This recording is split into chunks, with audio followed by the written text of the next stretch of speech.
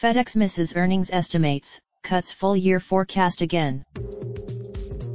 The package delivery company FedEx missed analysts' estimates for quarterly profit and cut its full year earnings per share forecast for the second time, citing weaker global trade growth, sending its shares down 5% Tuesday. The Memphis company cut its fiscal 2019 adjusted earnings per share forecast to a range of $15.10 to $15.90, from $15.50 to $16.60 previously.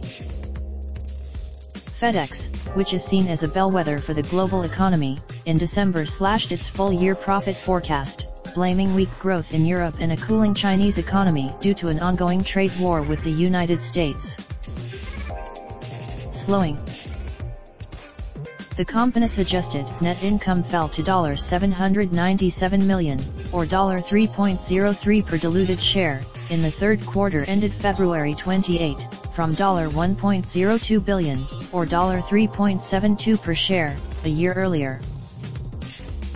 Total revenue rose nearly 3% to about $17 billion. Analysts on average had expected earnings of $3.11 per share and revenue of $17.67 billion, according to IBES data from Refinitiv.